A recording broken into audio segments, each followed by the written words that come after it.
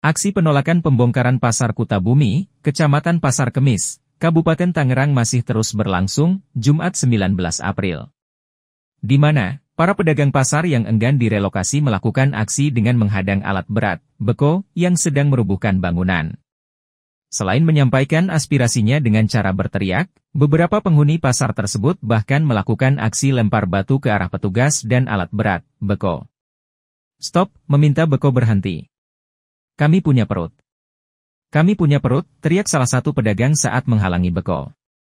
Pantauan pos kota Ko, ID. Petugas gabungan dari Satpol PP, TNI dan Polri berusaha mengamankan pelaku pelemparan batu tersebut. Namun, saat diamankan, pelaku yang merupakan anak dari salah satu pedagang tersebut mengaku mendapatkan kekerasan dari oknum petugas. Tadi dipukul. Gak tahu sama siapa. Banyakan dikeroyok sama Satpol PP. Gak tahu yang mana, gak lihat namanya, ungkap anak berbaju kaos putih merah sembari menunjukkan luka di bagian keningnya.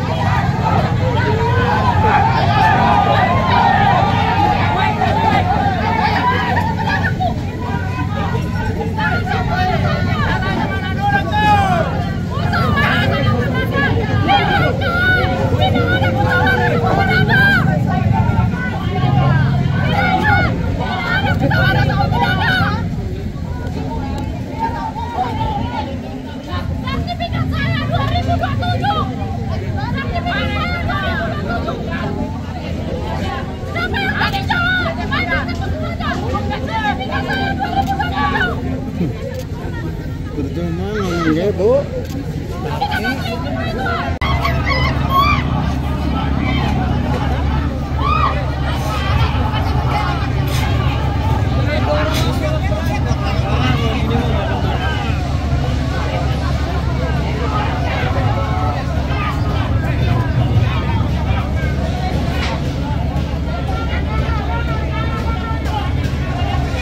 kasih bahwa Tni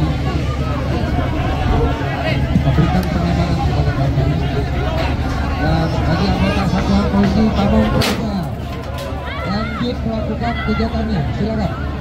Anggota satuan PP silakan. Pastikan dominan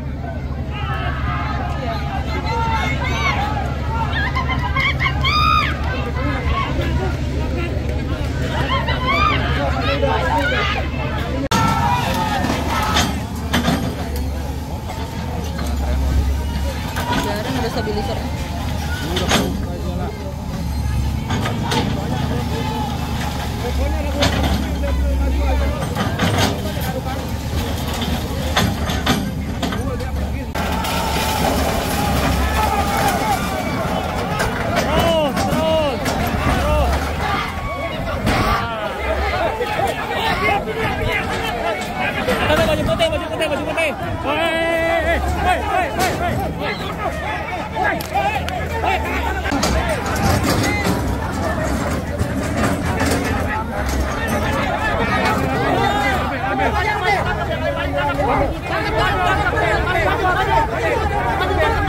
Mati sama kita